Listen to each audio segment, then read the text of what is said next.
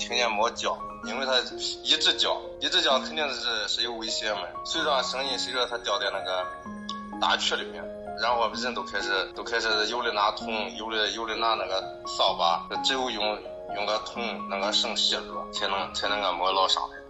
但是毕竟都是一条生命。